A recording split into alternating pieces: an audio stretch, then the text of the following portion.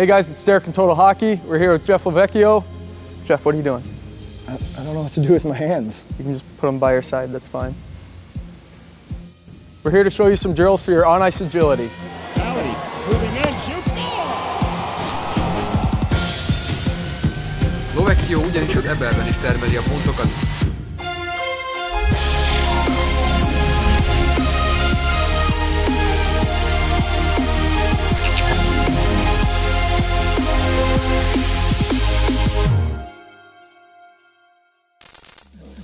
Our first drill for on-ice agility is identical to what you put me through off-ice, so you know what to do. It's the iron cross.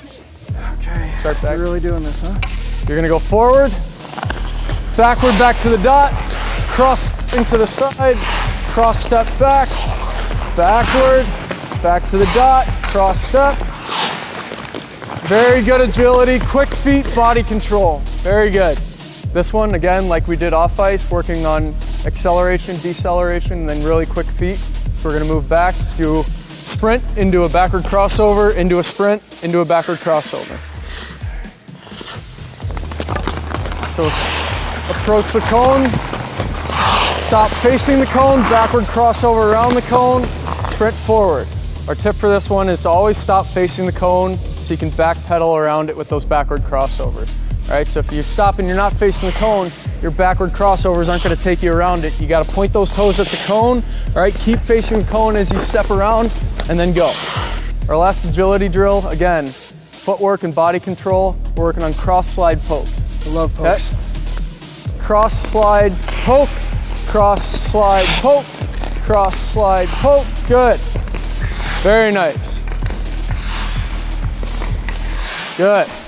Breakaway. That drill can be done with one of two purposes, all right? The one that you were doing, you were getting great distance on it, covering a lot of area in the zone, like on a penalty kill. The other one is for quick feet, all right? So it's not as as wide of a drive there. It's just a quick cross side poke, quick cross side poke, all right? Really quick feet, moving forward. That's why I played D1 and Pro, fellas. If you guys enjoyed the video, find that thumbs up button, give us a like. Woo! I'm feeling agile, boys. Really? Because it looks like you're just taking a knee. Shut up. Today we're in the gym showing you some hockey-specific agility drills. And they don't include biceps.